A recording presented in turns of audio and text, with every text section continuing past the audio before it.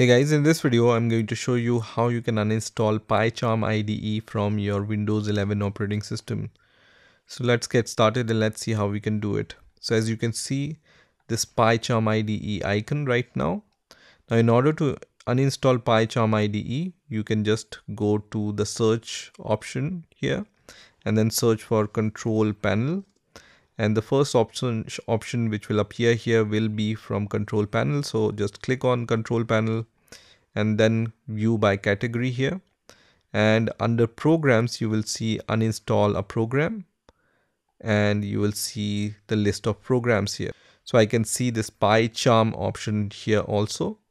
If you don't see this pycharm option just search for uh, pycharm and you will be able to see this option here now in order to uninstall PyCharm, just right click and then click on uninstall or select and then click on this uninstall option.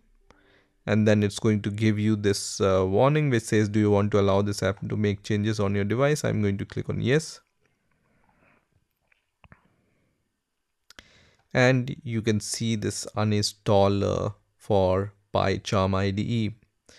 So here you can uh, see this was the location where PyCharm was installed and it, it also says please confirm if you like to delete the cache and settings so i'm going to just check these two checkboxes and then click on uninstall which is going to start the uninstallation process of PyCharm. So just wait for a few seconds here. And now I can see this message which says uninstallation complete. Uninstall was completed successfully. So this means PyCharm IDE is uninstalled successfully from your Windows 11 operating system. I can also see that PyCharm IDE icon is also removed from the desktop. So that's it for this video. I will see you in the next video.